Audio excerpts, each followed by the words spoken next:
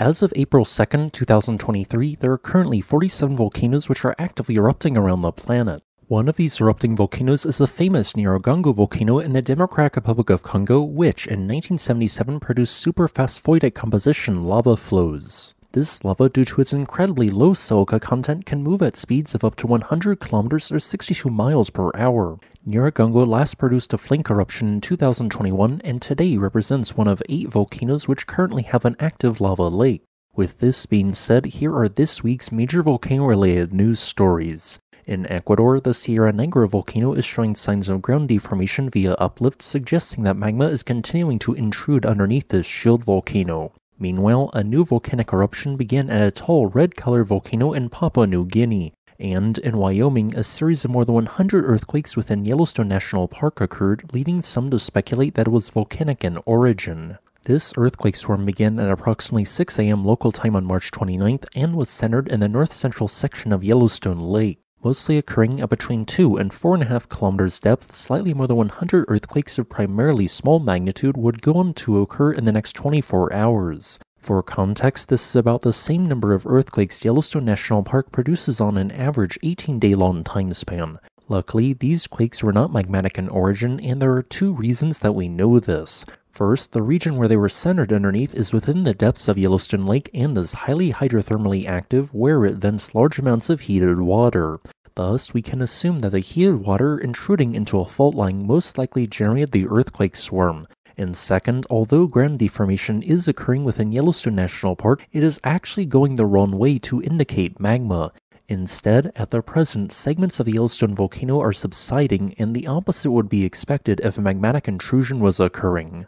This earthquake swarm does not indicate that Yellowstone will erupt anytime soon, especially because given the current understanding of this magnificent volcano, it is currently incapable of erupting in the first place.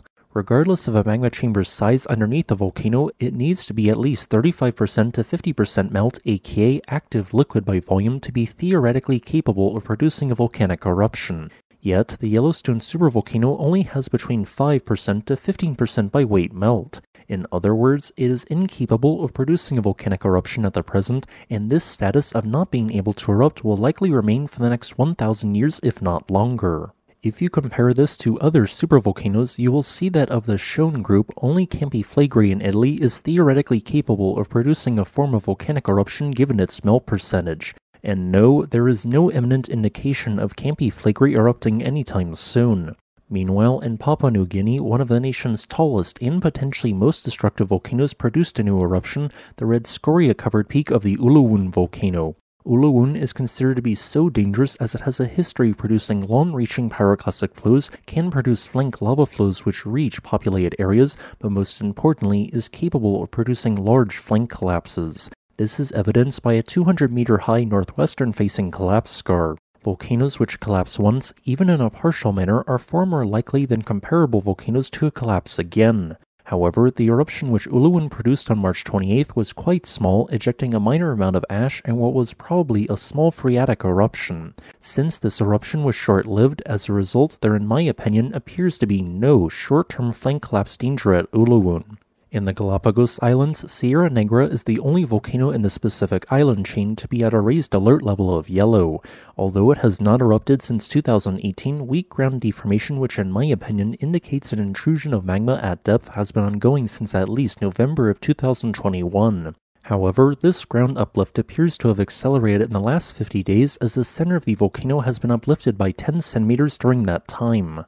If ground deformation continues at this rate, an eruption will, in my opinion, eventually occur. Here is a quick list of all the world's volcanoes which are currently erupting. Additionally, here are some volcanoes showing signs of unrest which are not erupting as we're recording this video on April 1st of 2023. Thanks for watching. If you would like to request a specific topic, please leave a comment below. Additionally, I would like to thank this channel's patrons on Patreon and channel members on YouTube.